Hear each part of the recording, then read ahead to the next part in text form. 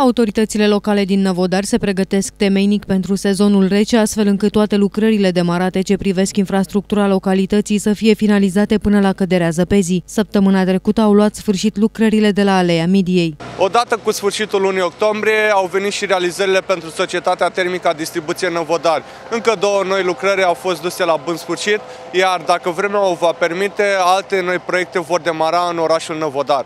Gropile și pietrișul din preajma Bisericii Baptiste au fost transformate de Societatea Termică Distribuție Năvodari într-o stradă și o parcare ce se întind pe o suprafață de 1000 de metri. Că vremea ne permite, avem un plan să atacăm strada liniștii, care înseamnă pregătirea pentru asfaltare și uh, trotuare.